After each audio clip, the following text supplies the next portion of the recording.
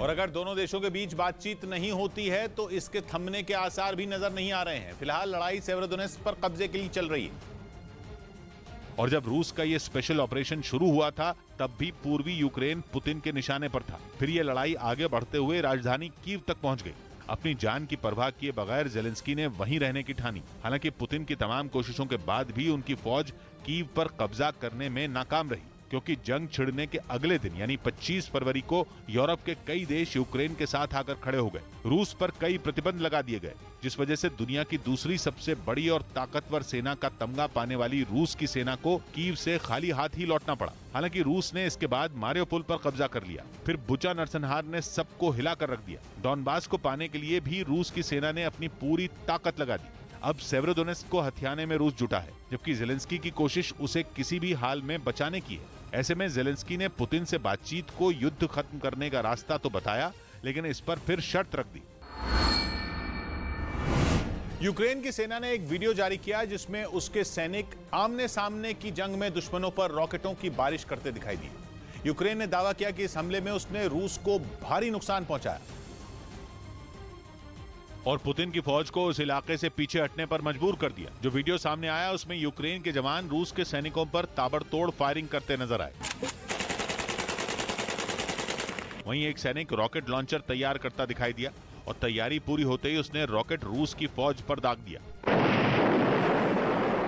Ukraine के सैनिक यही नहीं रुके। उन्होंने मोटर का इस्तेमाल कर रूस की सेना को पीछे खदेड़ दिया। दावा किया गया कि इस जोरदार हमले में रूस की सेना को भारी नुकसान हुआ, जिसमें उसके कई सैनिकों की मौत हो गई।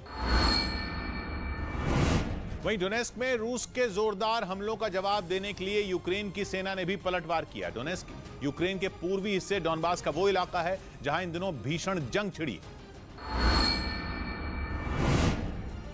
और इस पर पूरी तरह कब्जा करने के लिए पुतिन की सेना एड़ी चोटी का ज़ोर लगा रही है। इसी वजह से वहाँ रोज़ाना रूस की फौज अलग अलग तरीकों से हमले कर रही है। लेकिन यूक्रेन के सैनिक भी हैं कि वो डोनेस्क में हार मानने को तैयार नहीं। यही कारण है कि वहाँ पिछले कई दिन से लगातार हमले हो रहे हैं। कभी रूस के लड़ाकू विमान मिसाइलें और रॉकेट बरसाते हैं तो कभी यूक्रेन की सेना उन पर जोरदार पलटवार करती है। पुतिन की फौज को अपने रास्ते से पूरी तरह हटाने की ठानी है। वो रूसी सैनिकों के खात्मे पर उतारू है। इस बार यूक्रेन की सेना ने पुतिन की फौज को अपने रास्ते से पूरी तरह हटाने की ठानी है। वो रूस के सैनिकों के खात्मे पर उतारू है। इसलिए डोनेस्क में जगह जगह जेलेंस्की के फौजियों ने ज़मीन खोदकर वहाँ बारूदी सुरंगें बिछा दी हैं ताकि जैसे ही दुश्मन के लोग वहाँ से गुजरें उनका दुनिया से अस्तित्व ही खत्म हो जाए। Мы занимаемся заминованием делянок местности для недоп... ये काम वहां बहुत तेजी से जारी है क्योंकि यूक्रेन ये नहीं चाहता कि रूस को उसके एक और इलाके पर कब्जा करने का मौका मिल जाए और उसे अपने हिस्से की जमीन का एक बार फिर बंटवारा करना पड़े ऐसे में जिलेंस्की के फौजी आर पार की लड़ाई को तैयार बैठे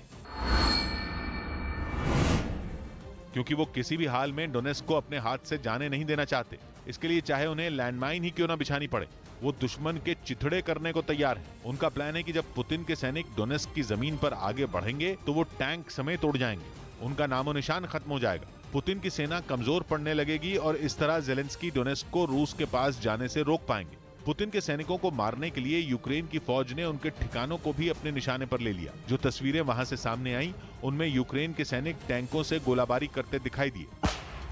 ऐसा माना जा रहा है कि चौथे महीने में एंट्री ले रही इस जंग की दिशा अब डॉनबास की लड़ाई तय करेगी। अगर इस पर कब्जा करने में रूस कामयाब हो गया तो यूक्रेन को नुकसान सिर्फ़ ज़मीन का ही नहीं होगा, बल्कि वो अपने सबसे सक्षम सैन्य बलों के बड़े हिस्से को भी खो देगा, जिससे रूस के लिए और बड़ा इलाका हथियाने और कीव को अपनी शर्तों पर चलाने का रास्ता खुल जाएगा। पश्चिमी मीडिया में दावा किया गया कि पुतिन के सैनिकों ने उनके खिलाफ विद्रोह कर दिया है, जिसकी वजह से उनका यूक्रेन पर कब्जा करने का प्लान फेल हो सकता है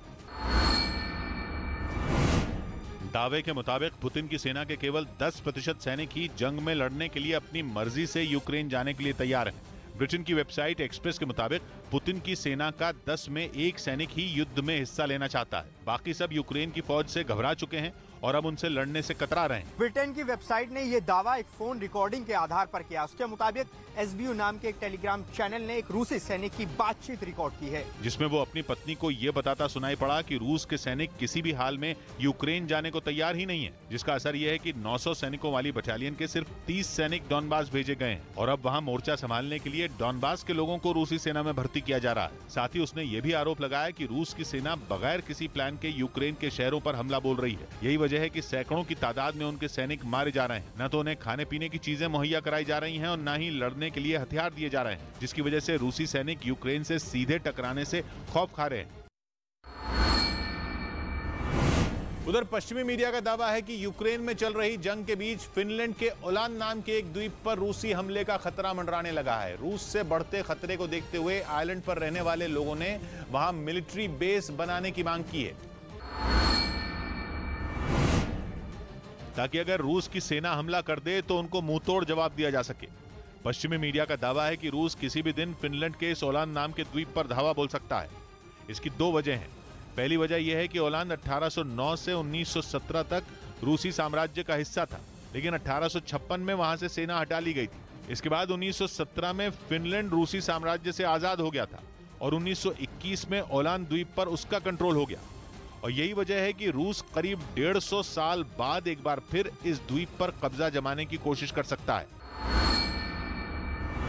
और दावा किया जा रहा है कि ओलान द्वीप पर कब्जा जमाने के लिए पुतिन की सेना कभी कूच कर सकती है।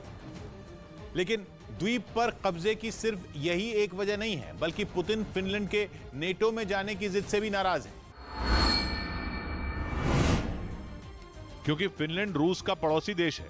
और पुतिन के कई बार धमकाने के बाद भी फिनलैंड नेटो का सदस्य बनने के लिए अड़ा है।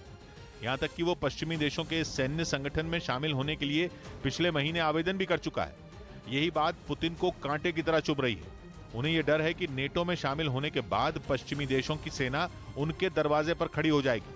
और ऐसा हुआ तो रूस के लिए यह बड़ा झटका होगा। इसी वजह से यह दावा किया जा रहा है कि रूस फिनलैंड में मौजूद ओलान द्वीप पर कब्जा जमाने के लिए अपनी सेना भेज सकता है। इस द्वीप पर करीब तीस हज़ार से ज़्यादा लोग रहते हैं। रूस से बढ़ते खतरे को देखते हुए इसी महीने के पहले हफ़्ते में वहाँ एक सर्वे कराया गया था, जिसमें करीब अट्ठावन प्रतिशत लोगों ने वहाँ मिलिट्री बेस बनाने के लिए हामी भरी थी। दुनिया में चल रही, चल रहे अनाज संकट को दूर करने के लिए अमेरिका समेत यूरोप के कुछ देशों ने मिलकर पुतिन के प्लान को फेल करने की तैयारी कर ली है। माना जा रहा है कि युद्ध की वजह से यूक्रेन में करीब दो करोड़ टन अनाज फंसा हुआ है।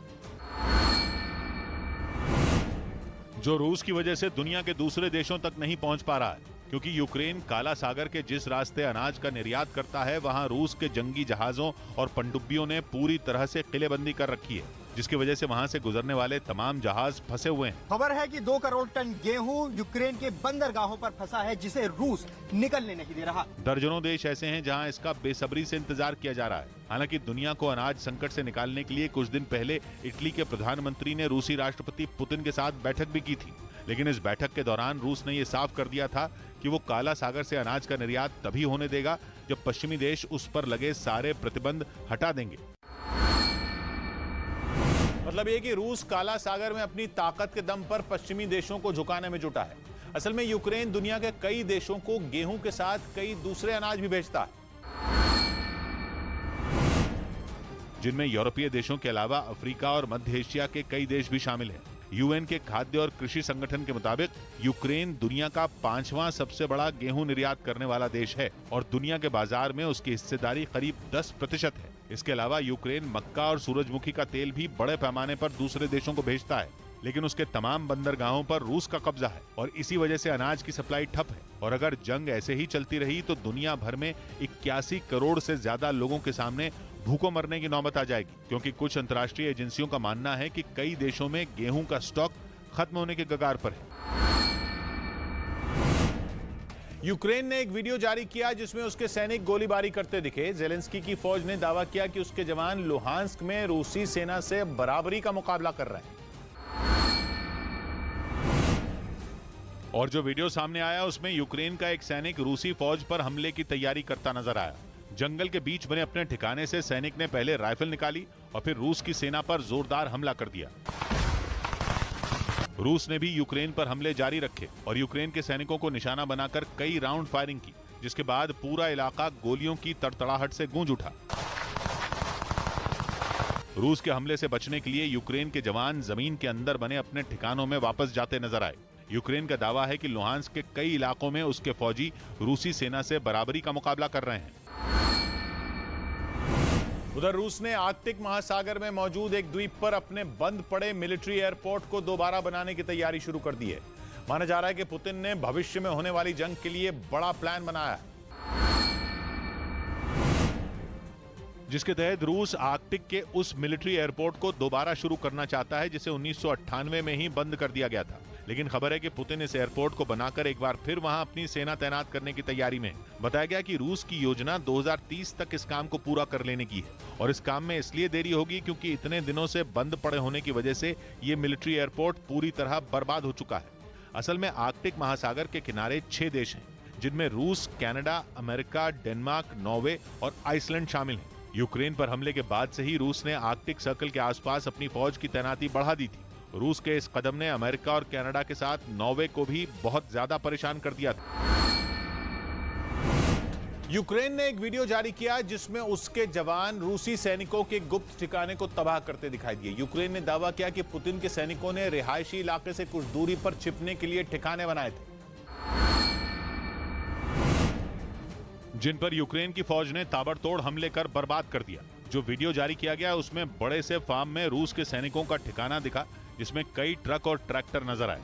यूक्रेन ने ठिकाने को निशाना बनाकर ताबड़तोड़ हमले किए और उसे तबाह कर दिया।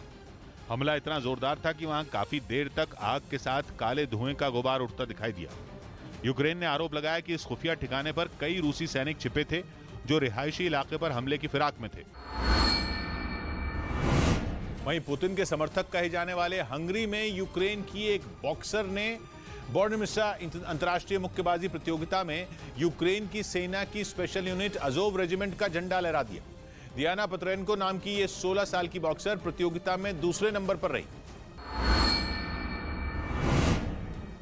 जिसे जब मेडल पहनाने की बारी आई तो वो पोडियम पर अजोव रेजिमेंट का झंडा लेकर खड़ी हो गई।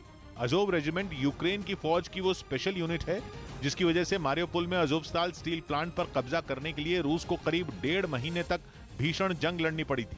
माना जा रहा है कि वो बॉक्सर अजोव रेजिमेंट के उन्हीं सैनिकों को सलामी देना चाहती थी, जिन्होंने मारियोपुल को बचाने के लिए अपनी जान झोंक दी थी, जबकि प्रतियोगिता के आयोजकों ने इसके लिए उसे टोका। जो तस्वीरें सामने आई, उनमें दिखा कि दियाना पत्रेनको ने जैसे ही यूक्रेन का झंडा लहराया, जिस पर अजोव रेजिमेंट का चिन्ह बना हुआ था, तभी वहाँ प्रतियोगिता की एक आयोजक आई और उसे ऐसा करने से रोकना चाहा। लेकिन दियाना नहीं मानी। उसने झंडे को फिर लहराया। ऐसे में वो महिला फिर उसके पास पहुँची और उसे झंडा लहराने से मना किया। जिसके बाद दियाना पत्रेनको ने झंडे को अपने एक हाथ पर रख लिया। हालाँकि झंडा लहराते हुए ही उसने मेडल पहना। उधर यूरेशियन टाइम्स नाम की वेबसाइट ने दावा किया कि रूस और चीन पर निर्भरता कम करने के लिए अमेरिका ने अपनी तैयारी शुरू कर दी है और इसके लिए अमेरिका एक कानून भी लाने जा रहा है। ऐसा इसलिए क्योंकि यूक्रेन में चल रही जंग के बीच भी अमेरिका रूस से टाइटेनियम और चीन से एंटीमनी का कारोबार कर रहा है। और ये तब है जब यूक्रेन में भीषण जंग छिड़ी हुई है, जिसमें अमेरिका और यूरोप के देश जेलेंस्की के साथ खड़े हैं और दूसरे गुट में रूस के साथ चीन खड़ा है। 24 फरवरी को जंग शुरू होते ही पुतिन की सेना से मुकाबला करने के लिए पश्चिमी देश यूक्रेन को खतरनाक और घातक हथियारों की सप्लाई भी कर रहे हैं। पुतिन को घुटनों पर लाने के लिए पश्चिमी देशों ने रूस पर कई तरह के प्रतिबंध तक लगा दिए। यहाँ तक कि यूरोप के कई देशों ने रूस से गैस और तेल तक खरीदना बंद कर दिया। लेकिन कुछ रोज पहले पश्चिमी मीडिया ने दावा किया था कि यूक्रेन में चल रही जंग के बाद भी अमेरिका और यूरोप के देश रूस से टाइटेनियम और चीन से एंटीमनी खरीद रहे हैं। वहीं हॉलीवुड के मशहूर अभिनेता ऑनल्ड शॉर्जनेगर ने यूरोप के तमाम देशों को यूक्रेन युद्ध के लिए गुनहगार ठहराया। एक वीडियो संदेश में उन्होंने जंग के बीच रूस से तेल खरीदने वाले देशों को आड़े हाथ लिया। अपने वीडियो मैसेज में आनल श्वार्जनेगर काफ़ी भावुक दिखे। उन्होंने जंग के बीच रूस से तेल खरीदने वाले यूरोप के देशों को जमकर कोसा। But during that same time, Europe sent to Russia 44 billion euros for fuel. आनंद श्वार्जनेगर ने यूक्रेन में हो रही भीषण तबाही पर चिंता जताई और यूरोप के देशों से रूस से तेल न खरीदने की अपील की। उन्होंने साफ़ किया कि रूस को तेल नहीं खरीदकर ही सबक सिखाया जा सकता है। आनंद ने रूस से तेल खरीदने वाले देशों से नाराज़गी जताई। We have blood on our hands because we are financing the war. आनंद शॉर्जनेगर ने यूक्रेन युद्ध को मानवता के लिए खतरा बताते हुए यूरोप के देशों से एकजुट होने की भी अपील की। उधर यूक्रेन से छिड़ी जंग के बीच रूस के पड़ोसी देश एस्टोनिया में भी सेना ने मुश्किल हालात से निपटने की तैयारी की। बताया गया कि ये एस्टोनिया की सेना का सालाना युद्ध अभ्यास था जो वहाँ के शहर वरु में शुरू हुआ। जहाँ उसकी सेना के जवानों ने अपने जौहर दिखाए, जिसके लिए वहाँ के एक जंगल को चुना गया। वहाँ एस्टोनिया की फौज की टुकड़ी जोरदार गोलियाँ बरसाती नज़र आई।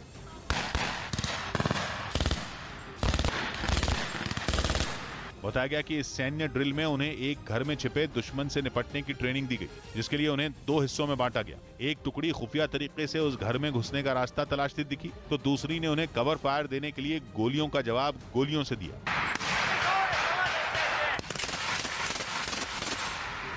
इस दौरान दूसरी तरफ़ के लोगों का ध्यान भटकाने के लिए वहाँ टैंक भी गरजता दिखाई दिया। वहीं इस पूरी ड्रिल पर एस्टोनिया की वायुसेना का एक लड़ाकू विमान हर वक्त नज़र बनाए रहा।